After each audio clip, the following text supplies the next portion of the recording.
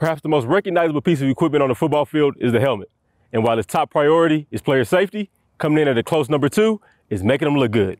And on this episode, we're at the campus of UNLV to see how their football team makes and prepares their game day helmets. I'm Leland, and welcome to Sports Dissected, the series.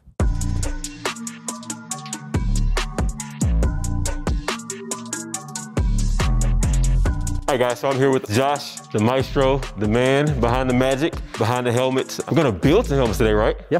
Definitely wanna get into it. You guys have a lot of flavors, a lot of different combinations. I wanna talk about that, ask a couple questions while we're building it, and then, you know, see who builds the best helmet. Maybe, you know, put, some, put a wager on it. Who has the best looking helmet, you know? Sounds good. I mean, your territory.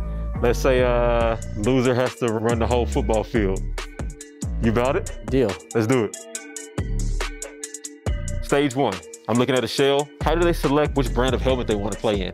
You know, it's what they want to wear, but it also comes down to if it fits properly. They might want to wear one helmet, but it doesn't fit as well as this one. We want to make sure they have the best fit for safety purposes. Have you ever had a, a, challenge where a guy was coming in used to wearing one type of helmet and then you guys didn't have it in stock? How did you guys take care of that? You know, we accommodate for them. Previously, we've had guys that, you know, want to wear a certain type of helmet that we might not have had at the time, but uh-huh. we're uh, definitely going to bring it in for them if that's what fits him the best. So you, you've been here for how long? This be uh, going on a full year. and Been around football for how long? my whole life. How has the helmet changed since you first started to what we're looking at now, what we're building? Leaps and bounds from where it was. You know, you're going from the old school Schutt where, you know, it was a bladder system inside to having the more of the components now, you know, it's definitely more elaborate. You gotta have the flex here. You're gonna have the receptacles already in there. It's all gonna be quick release. So you're gonna wanna pick a mask. So I have, what is this, four different types? Four different types, kind of all of our skill masks that we have. These two are more the I would say the favorites. So you're gonna use the clips here. Flat goes against the helmet, right? Yep. Okay, got it. I guess I'll build this one. What, you already have tools, dude? Come on, like what? I got screws. How often do you guys prepare the helmets? Every week before every game, or is it? Definitely. You know, after we wear a helmet, I try getting them done, you know, that Sunday, Monday. That way they're ready to go for the next time we wear that helmet. We couldn't do what we do without our student managers. I'm glad we do a speed test because I'm still on the uh, clipping my uh, my first clips on.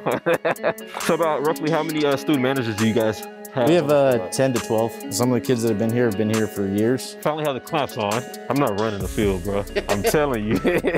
so when you get to this part, you're gonna use the, just push that pin in. Okay and then you're gonna hear it click. What are some of the fan favorites and uh, combinations? I think the one that we're building is a good one. The all white definitely is one. The anthracite just being a new color to us, I think is always one of those as well. So you got the team, you guys are building the mask together. How long does that process take? You know, it just depends on what we got going on that day uh -huh. with season and stuff like that, what color we're gonna wear, if we're fully redecaling or if it's just gonna be fixing the beat up ones. It just depends on what we're actually doing. So obviously you guys have the new coach, Coach Arroyo. How did uniforms and jerseys and stuff kind of change since he's been here?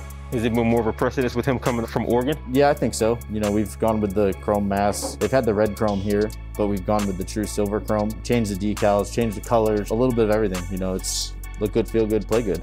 So we got the mask on. Stage one, done, mask. Did it all by myself. Nah, appreciate it. You helped me. So we'll start decaling it up. Obviously for the different styles, different stickers are all the same, but this one doesn't fit that one, vice versa. So this front will go on. Then we'll heat it up with the hair dryer over there. Okay.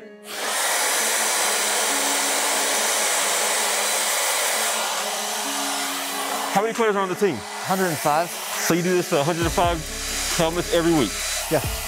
We won't dress 105 every week. Okay, got it. Thank goodness, right? Yeah. All right. Cool. So then we'll flip it around and do the back. See, so on that one, if you line up on the side, okay. See how it kind of goes with it? It should fit all the way across that way. Glad you tell me after I mess it up, right? and then that same thing, we'll heat that up to make sure it really sticks down.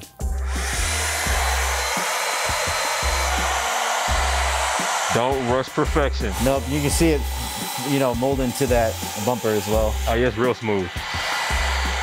All right, so it's starting to come together. Yep. I'm seeing it.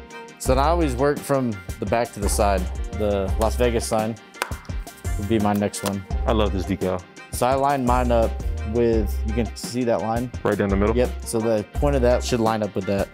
Viva Las Vegas. You picked 21. I did. Tell the truth. Have you ever got the numbers mixed up? No, No, never. no. Obviously, make sure it's straight up and down. and Make sure the the bottoms match up. So I'm gonna go with the Mountain West sticker, which is gonna go to the left of the numbers. And then we'll go with the American flag. It's gonna stack the warning label. All right, got it. So I line it up to the side. And now the back of the helmet is done. So now is when I'll heat it all up. So then we'll move to the side. On this one, I always line it up at that point and then the arch will touch the top of that. And you can heat it up as you go, it'll go on better. So then we'll do the same thing. Obviously, it's gonna be the U, the point of that U, Okay. Do you ever watch games and like look at the helmet like, wait, the number is off on that helmet? all the time. Okay. I think, you know, when you do it day to day and this is what you do is, it's hard to watch a game normal now. Uh huh. You know, you see, you see everything. It's like the tagline with Sports Dissected. You never see it the same. Yeah. So it's complete. Now would you want the visor on there. What we're gonna do is it's gonna slide in now. It's a little easier if we did it before the Uh-oh. mask. It's just gonna go like that. But we're gonna use these clips. And then what this will do is it'll open up and it just screws in. It's game day, baby. Check mine out. Critique it. Critique it hard. What you got? You can be honest, man. This one's a little little forward, but still looks good. Come on, you gonna do me like that? You told me to critique you You're right, you're right, you're right. Outside of that, what you give it? Between one and two. two. A two, it's my man. Today, the UNLV helmet was dissected. Who knew it was so many steps to making this masterpiece? But now let's try it out. Ready?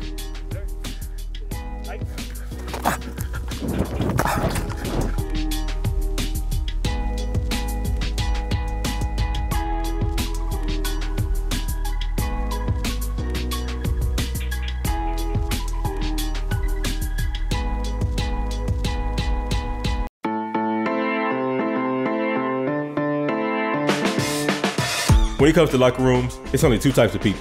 There's everyone else, and their Shield lockers. Since 2014, Shield's number one priority has been to disrupt all industry standards by blurring the line between traditional function and modern masterpiece. With their use of non-traditional materials such as solid surface, they're able to set their clients' imaginations free. The Brooklyn Nets and Kansas Jayhawks trusted them, and you should too.